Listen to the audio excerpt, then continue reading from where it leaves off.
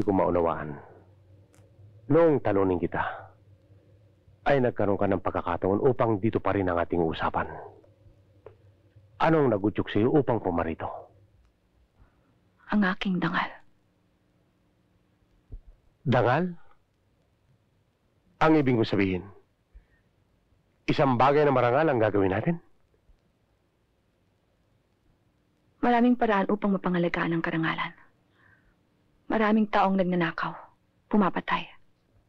Ngunit may karangalan. Kung ang pagpatay o pagnanakaw ay upang matulungan ang kanilang kapwa. Ang aking salita ay ang aking karangalan. Kahit anong mangyari, hindi ko babalin ang aking salita. Pinahahanga mo ako. Ang akala ko. Ang mga ganong paniniwala ay hindi na sinusunod sa mga panahong ito. Ngunit bakit yan ang pag-uusapan natin?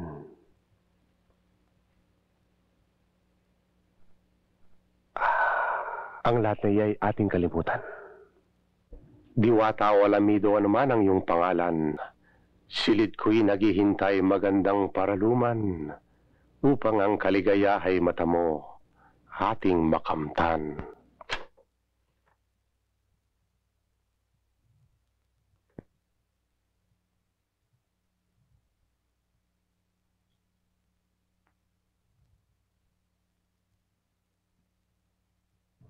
Huwag kang matakot.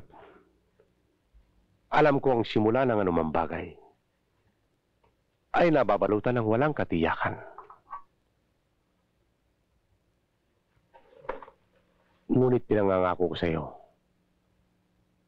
ang ating pagtatagpo ngayon ay hindi mo makakalimutan kailanman.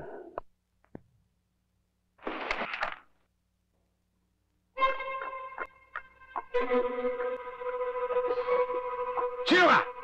Ano kailangan mo?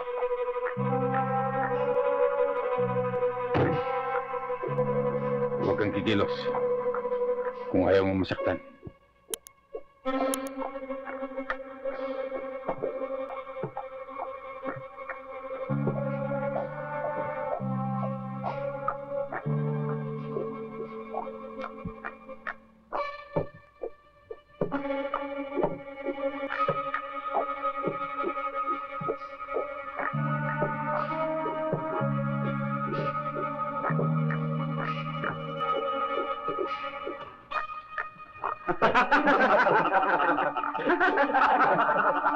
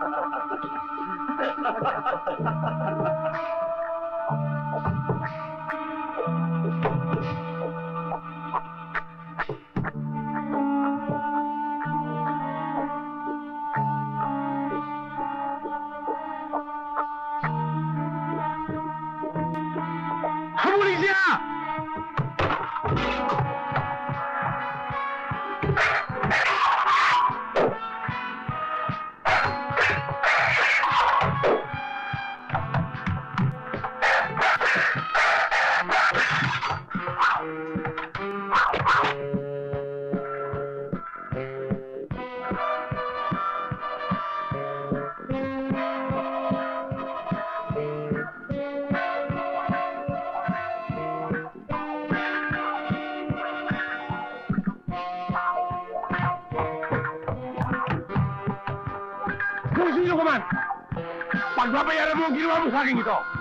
Magkikita pa rin tayo.